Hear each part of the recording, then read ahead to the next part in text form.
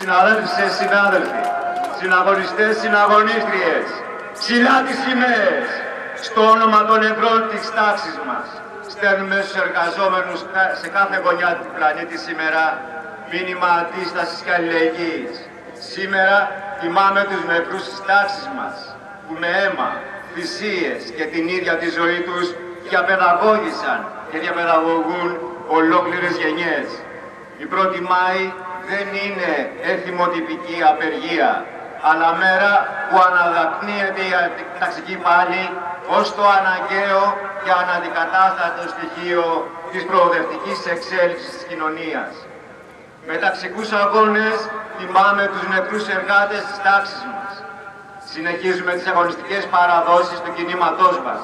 Το δρόμο από το Σικάγο ως την Πρωτομαγιά του 36 στη Θεσσαλονίκη την αιματοβαμμένη πρωτομαγιά της ηρωικής και σαριανής. Θυμάμαι τους χιλιάδες νεκρούς εργάτες που έπεσαν στην ανηρήνευτη πάλι μες τους εκμεταλλευτές μας και συνεχίζουμε και μένουμε δυνατοί στον αγώνα ενάντια στην Ευρωπαϊκή Ένωση, τις κυβερνήσεις και συνολικά απέναντι στο σάπιο εκμεταλλευτικό σύστημα. Αποδίδουμε παράλληλα φόρο τιμής στα χιλιάδες θύματα της εργατικής τάξης στη χώρα μας, αλλά και σε όλο τον κόσμο που βρέθηκαν εκτεθειμένα στην πανδημία του κορονοϊού για τα κέρδη των λίγων. Χαιρετίζουμε σήμερα τους χιλιάδες εργαζόμενους, ανέργους, αυτοαπασχολούμενους, αγρότες, νέους και νέες που βρίσκονται στο σπίτι τους ενώ θα ήθελαν να βρίσκονται εδώ μαζί μας να διαδηλώνουμε μαζικά, όπως κάθε χρόνο, από άκρη σ' άκρη σε όλη την Ελλάδα, τιμώντας την Παγκόσμια Μέρα Αγώνα της Εργατικής Τάξης. Από αυτό το βήμα και από τη συμβολική διαδήλωση στην Αθήνα λέμε ένα πράγμα. Οι συμβολικές κινητοποιήσεις σήμερα έχουν πολύ ουσιαστικό περιεχόμενο. Είναι κάλεσμα για άμεση πάλι οι αγώνες ώστε να μην πληρώσουμε ξανά τα βάρη μιας κρίσης που οι κυβερνήσεις και οι επιχειρηματικοί όμιλοι προετοιμάζουν να μεταφέρουν στις πλάτες μας. Για τους επιχειρηματίες η πανδημία έχει μετατραπεί σε ευκαιρία καταπάτησης των εργατικών δικαιωμάτων. Οι δύο πρώτοι τόμοι της μαύρης βίβλου της εργοδοσίας που εξέδωσε το ΠΑΜΕ, αλλά και οι ανομολόγητες ως τώρα επιθέσεις σε εργατικά δικαιώματα σε κάθε χώρο δουλειάς, είναι τα προεόρτια για όσα ετοιμάζουν. Η επίθεση που ποτέ δεν κόπασε από τον ανοιχτό ταξικό πόλεμο των προηγούμενων ετών θα ενταθεί με τη νέα καπιταλιστική κρίση που φέρνει η πανδημία. Το σλόγγαν «Πρώτα η ανθρώπινη ζωή» που πολεφορέθηκε αυτές τις μέρες θα συνοδευτεί με νέα επώδυνα μέτρα αν δεν βάλουμε εμείς φρένο με τους αγώνες μας, αν δεν τους σταματήσουμε θα κάνουν τη νύχτα μέρα για να επανακτήσουν τα κέρδη τους με τη μεγαλύτερη δυνατή εκμετάλλευση. Ως εργαζόμενος στα σούπερ μάρκετ μεταφέρω τους χαιρετισμούς των χιλιάδων εργατοϊπαλλήλων στις εφοδιαστικές αλυσίδες που σήκωσαν στις πλάτες τους ένα δυσανάλογο με τις δυνάμεις τους βάρος και κατάφεραν να το φέρουν εις πέρας, αποδεικνύοντας για ακόμη μία φορά ποιοι είναι αυτοί που ανοίγουν και δουλεύουν τα καταστήματα. Αυτοί που δύο μήνες τώρα με αυταπάρνηση ξεπερνώντας τα φυσικά όρια της σωματικής κόπωσης και αντοχής έδωσαν και δίνουν το δικό τους αγώνα για να μην λείψει τίποτα από κανένα λαϊκό σπίτι. Δεν δεχτήκαμε το χαρακτηρισμό του ήρωα, γιατί δεν τον επιδιώξαμε. Ως τάξη έχουμε θέσει πολύ ψηλά τον πύχη για να αποκαλέσουμε κάποιον ως ήρωα. Παρ' όλα αυτά, στην ιστορία του εργατικού κινήματος, χιλιάδες είναι αυτοί που έφτασαν και ξεπέρασαν αυτό το όριο και είναι αυτοί που τιμάμε σήμερα, ακολουθώντας το παράδειγμά τους. Οι άνθρωποι των επιχειρητικών ομίλων όμως μοιράζουν απλόχερα το τίτλο του ήρωα για να ξεγελάσουν και να λιάνουν γωνίες για να κάνουν στην τελική τη δουλειά τους και όταν σβήσουν τα φώτα της δημοσιότητας, όταν πάψουμε να αποτελούμε το θέμα της ημέρας και έχει πλέον επιτευχθεί ο σκοπός τους, αυτός ο ήρωας έρχεται αντιμετώπος με τα προβλήματα της καθημερινότητας που του έχουν φορτώσει και μετατρέπεται γρήγορα σε έναν ήρωα με παντούφλες από το γνωστό λογοτεχνικό έργο που πρέπει να ξεπουλήσει ψήφος και παράσημα για να μπορέσει να πληρώσει τους λογαριασμούς του. Συνάδελφοι, συναδέλφισες, σήμερα φαίνεται ακόμα πιο καθαρά στα μάτια περισσότερων ανθρώπων ο πραγματικός ζωτικός ρόλος που έχουν οι εργαζόμενοι ως παραγωγή του πλούτου σε σχέση με τον παρασιτισμό των εκμεταλλευτών μας. Το σύνθημα «Χωρίς εσένα γρανάζει δεν γυρνά, εργάτη χωρίς, χωρίς αφεντικά» έγινε πιο κατανοητός σε αυτιά που έως και σήμερα το αντιμετώπιζαν με επιφύλαξη ή σκοπτικά. Οι μέρες της πανδημίας και ο σύγχρονος πραγματικός ηρωισμός ανέδειξε το πραγματικό ανάστημα των εργαζομένων που βρίσκονται στα εργοστάσια, στις καλοσχές, στα λιμάνια, στις αποθήκες, στα κλάρ, στην καθαριότητα, στα φορτηγά, στα γραφεία, στα ράφια και στα ταμεία. Ανέδειξε από τη μία τη σημότητα των χιλιάδων εργαζομένων που παράγουν τον πλούτο της κοινωνίας και από την άλλη την παρασιτική εμφάνιση που έχουν όλοι αυτοί που υποτίθεται κρατούν τις τύχες του πλανήτη στα χέρια τους. Όλοι αυτοί είναι αέρας κοπαριστός χωρίς τους εργάτες. Καπιταλιστική ανάπτυξη και ευημερία για το λαό δεν συμβαδίζουν. Ο λαός μας έχει αποκτήσει μεγάλη πείρα από την πρόσφατη κρίση.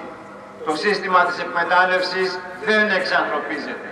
Μόνο όσοι έχουν συμφέρον υπερασπίζονται ένα τέτοιο σάπιο σύστημα.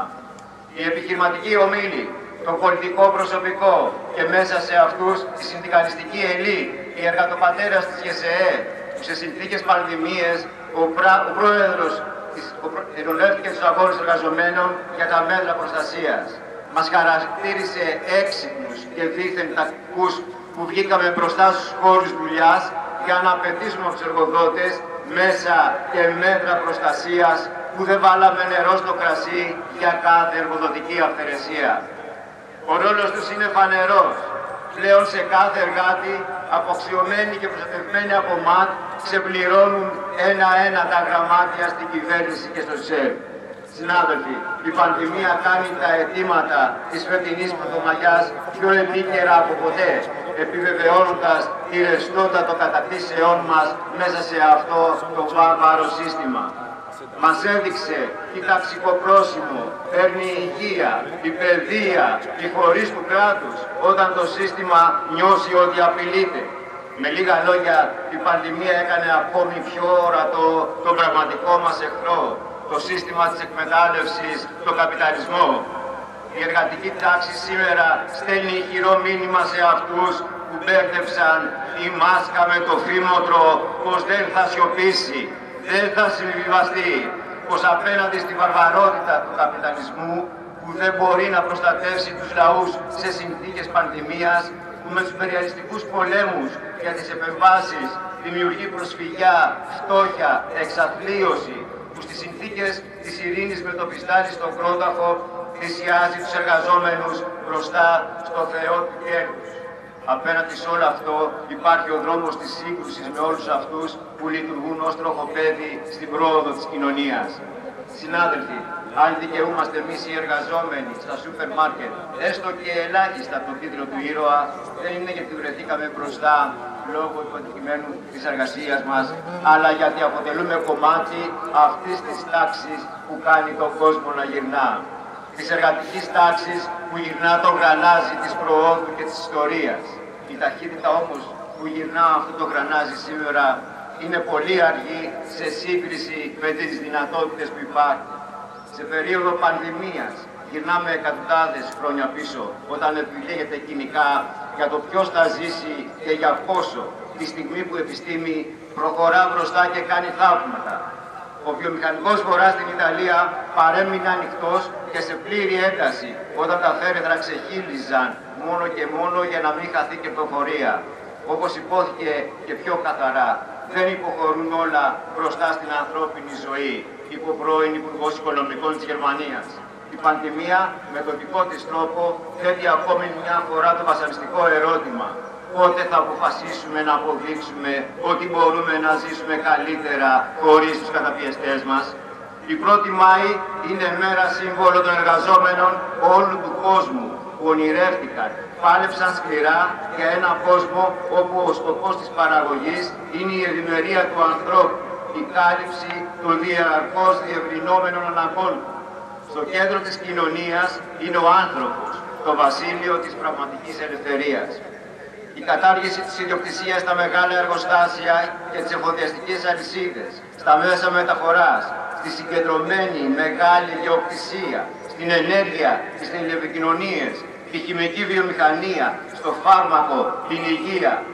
Μόνο έτσι θα σταματήσει το 1% των ανθρώπων να κατέχει το 60% του πλούτου που παράγει όλη η ανθρωπότητα.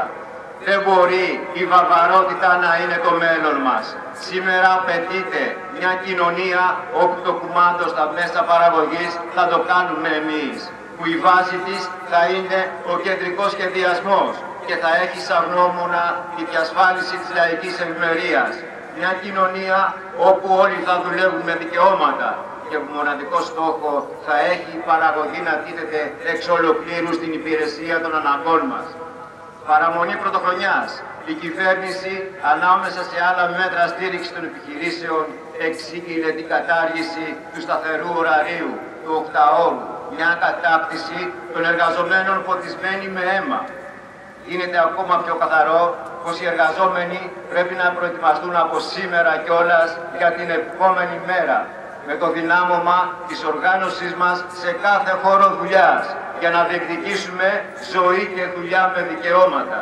Γιατί ο δικός μας αγώνας για την επόμενη μέρα αφορά την υγεία, τη ζωή, την καθημερινή μας επιβίωση, την ικανοποίηση των σύγχρονων λαϊκών αναγκών. Έχουμε πληρώσει ήδη πολλά. Έχουμε πληρώσει τη δεκαετή κρίση του συστήματος εκμετάλλευσης με αμέτρητες θυσίες. Δεν θα πληρώσουμε ξανά. Και όπως λέει το ποιητής, αν το υπεράνθρωπο δεν κατορθώσουμε, πάμε χαμένοι. Αν δεν μπορούμε να κάνουμε αυτό που κανείς μας δεν μπορεί να πετύσει, θα αφανιστούμε. Καλή δύναμη.